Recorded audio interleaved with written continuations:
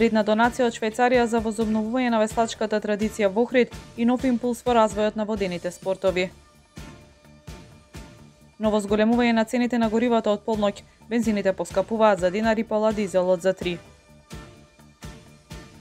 До 15 јуни трае повикот за кандидати за обуки за спасители на отворени води кои ќе се стекнат со меѓународно признаен сертификат и ќе бидат дел од единицата за безбедност на вода при Црвен крст Охрид.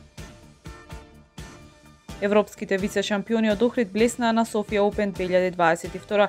Давид Крстески, Христијана Парулеска и Елена Јанеска под водство на Маријанчо Лазарески освоја два златни и три бронзени медали. Времето утре сончево со мала до умерена облачност и температура во интервал од 12 до 26 степени. Следевте една минута вести на Охрид Ньюс.